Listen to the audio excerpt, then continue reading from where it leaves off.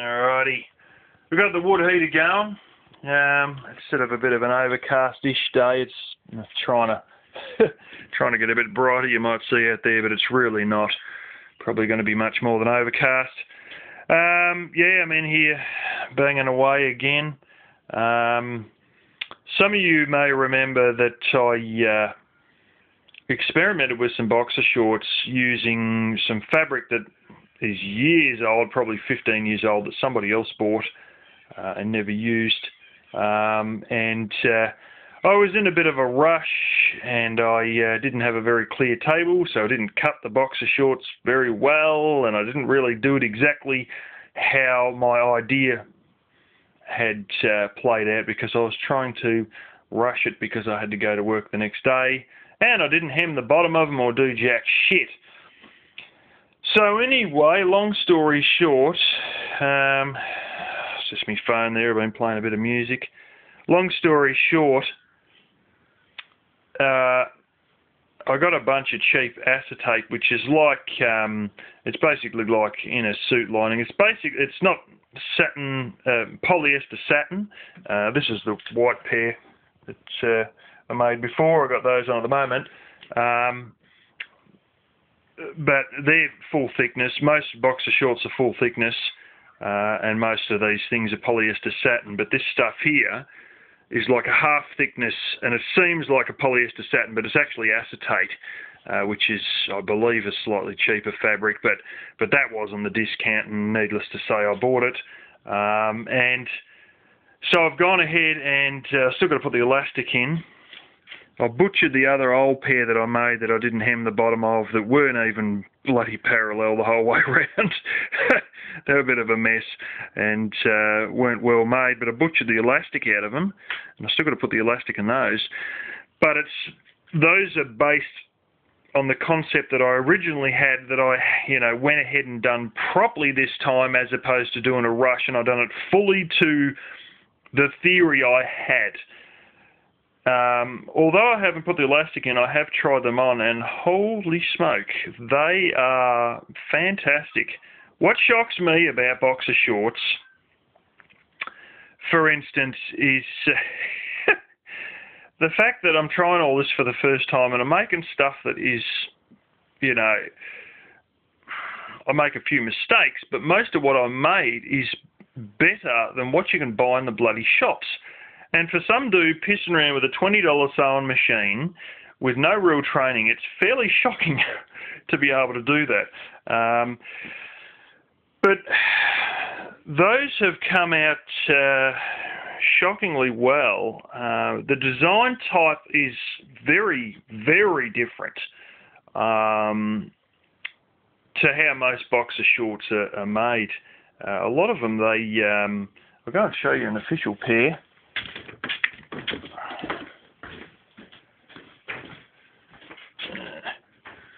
A bit of the fabric I was saying about. That's an official pair there. Now what they do is they sew the elastic directly on to the fabric and it gives you that rippled look that I think you're seeing now. Um, it's almost like shearing. They sometimes you see little girls' skirts. They have it in like the top, like just around, oh, around the bottom of the rib cage or something. They'll put a bunch of shearing in. Uh, so for some of these little dresses, and uh, but that's the way they do the elastic. The elastic is directly attached. Uh, and now there's about four or five different methods of putting elastic in. These are proper bought ones, as you could tell. They've got a, a whatever it is, friggin' leopard or tiger or some shit. Uh, leopard, I think. Or is it a jaguar? Who knows? but anyway, they're proper ones that uh, you know are made in uh, that country where all the shit's made, basically. Um, and uh, the long and short of it is there's about five different methods to putting in elastics. Uh, and I'll see if you can, without saying more than you need to see. Now that there, that's my elastic there, that's the hem. The elastic isn't actually attached directly. This is another method they use for oh, lots of different things in particular, tracksuit pants um, often enough have that. What it is, you make a giant hem, uh, and you just you basically just slide it inside the giant hem. Um, and so all you're really attaching is one end of the elastic to the other end after you've like threaded it through threaded it through you thread it through uh, using uh, safety pin uh, you put a safety pin on one end not too close to the edge um, and you just sort of you can rub it through and uh, the long and short of it is that um, you know it's attached at one point.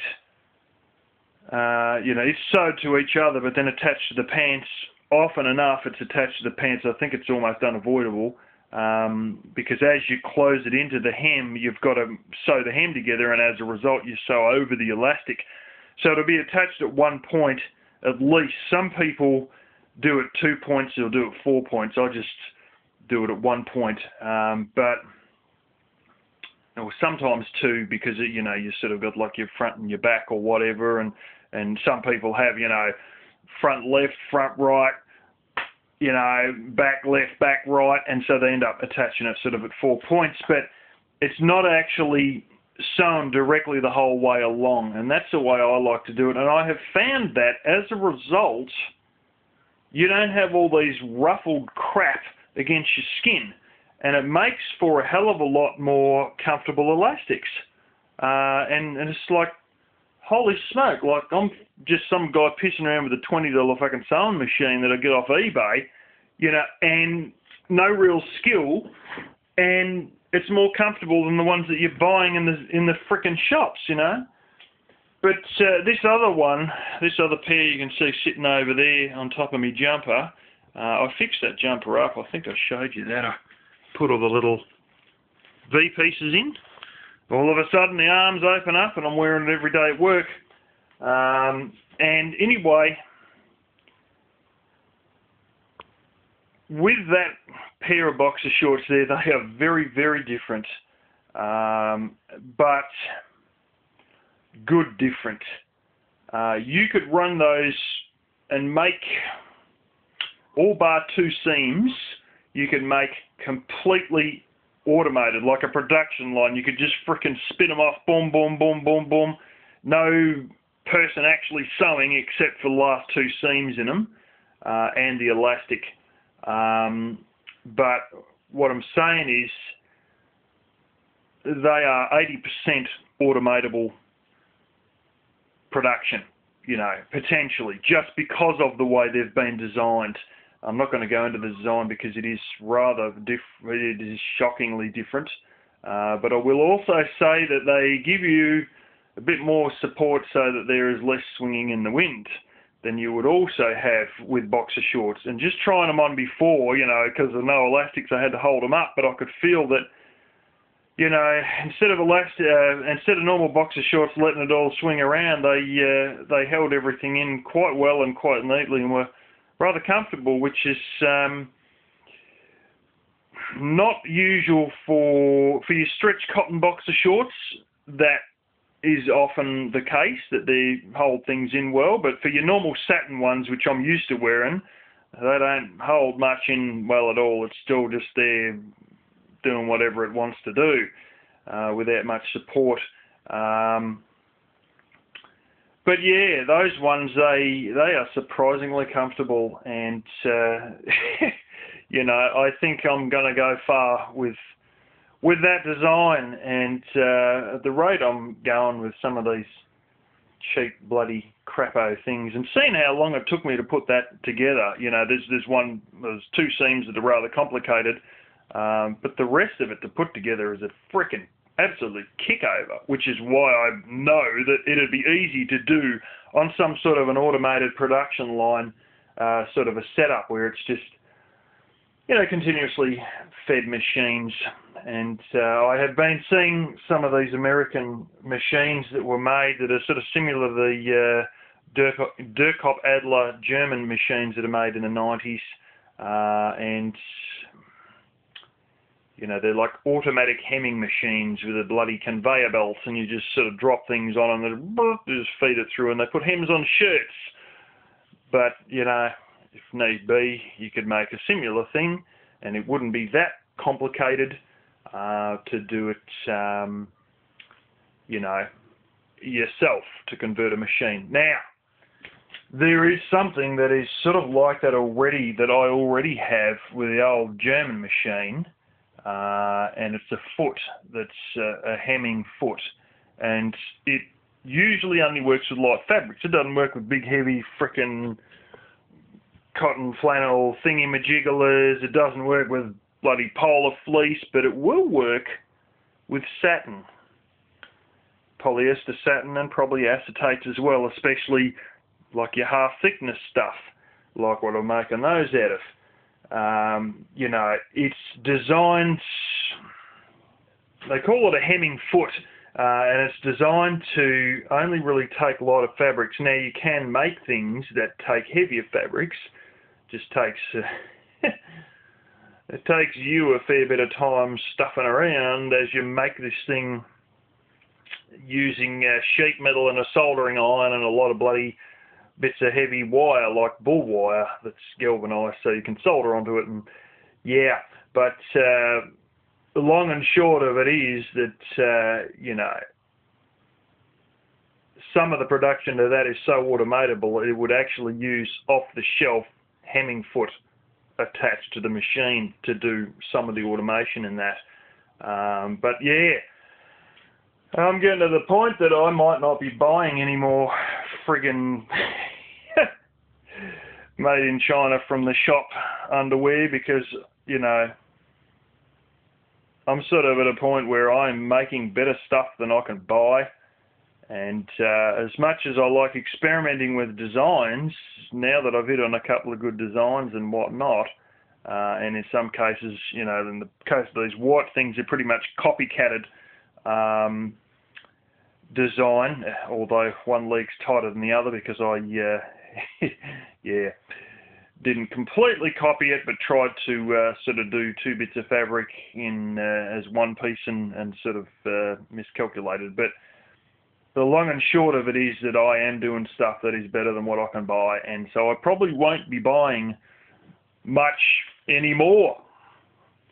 And uh, you know, you go in there, and, and what am I paying? Like eight bucks or twelve bucks for a pair of boxer shorts, and and honestly, I can get like a whole meter of this stuff.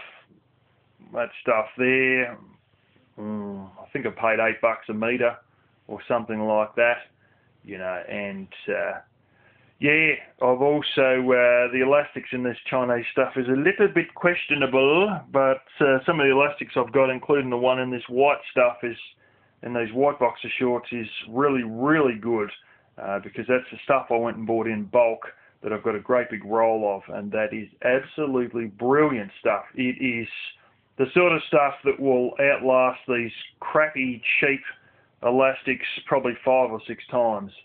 And um, yeah, but anyway, I'm sort of surprised at how well I've gone with such little experience uh, versus shop bought stuff. It's just there's some things that you would assume that the market is fully blooming taken care of, and then you find out that either I got a bit more of a skill than I suspected I had in one area, or most likely those bastards just ain't putting in a real effort. And, you know, they're getting them made, you know, in China because, oh, they're very complicated, but then they still make them shit. And, well, actually, they're not very complicated, but you know, the idea of a lot of this Chinese labour was to get crazy blooming shirts. I mean, a lot of shirts like the one I've got on, it's not that big a deal to do. You get these business shirts, you see the amount of bullshit they have to go through to do a business shirt. It's just phenomenal. You know, all the little cuts and the this and the that and the blah, blah, blah. You know, with the good ones where you've got what they call a, a double-sided yoke, uh, which is like your part where just above your shoulder blades, they actually make that out of two bits of fabric, you know, and, and you look at this business shirt and there's that many bits of interfacing that are stuck inside, which is like a stiffener thing, inside the collars and the cuffs and the, so many bits around where your it. You know, they're comfortable, yeah, because they've got about a million bloody parts and a million bloody joints, so they perfectly fit your body. Uh, but in the process, there's that much they've got to do that you've got to get it made in China because if you had it made anywhere else, you'd just die on labour costs because there's so much sewing and so many individual little parts that are all got to be joined together. Boom, boom, boom. And it's just a, a nightmare sort of thing. But you'd assume that they could do a really good job on something like boxer shorts, which, you know, that's sort of like half the cost of a shirt with jack shit worth of bugger all the amount of seams comparative to a shirt. It's not like half the price, half the seams. It's, you know, there's dramatically different change in the amount of, you know, seams and the lack of complexity. Uh, and then they still come out with stuff that some idiot with a $20 eBay sewing machine and, and no formal training and a couple of months playing around can can beat. It's not supposed to be like that. Not in my experience of uh, you know free enterprise markets, but but anyway, you know I might have just uh, found myself a uh, spot where I can put my toe into the uh, to the market and sort of you know outdo uh, the competition without having to, uh, you know, without it being as hard as I would have thought.